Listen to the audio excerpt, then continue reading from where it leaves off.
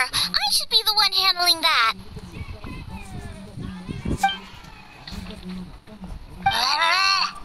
Oh no! Guoba's taken off!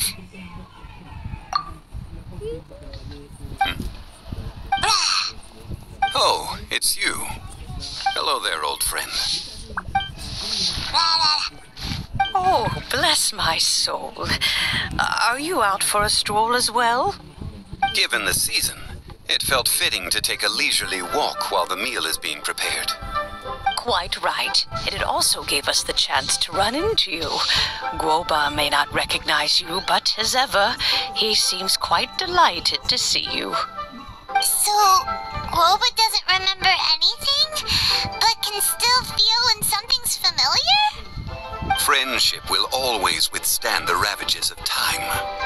Traveler, what do you think of the name of this festival? Moon Chase.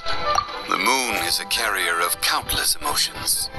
So many things only seem to surface as we gaze up beneath its poignant glow. Wherever the moonlight shines, the heart is wont to follow. Fond memories of those no longer with us. Debts of gratitude to old friends. The meaning of ages past and gone. All wrapped up in the city that has existed for so many moons to date. All these things and more. They are why people chase the moon. In old age, the sight of many things puts one in a wistful mood. But children are always a beautiful sight to see. Such exuberant life force. It, seems to well up from deep within the land itself. A land that has been in existence for so many millennia, and yet one that still dazzles today.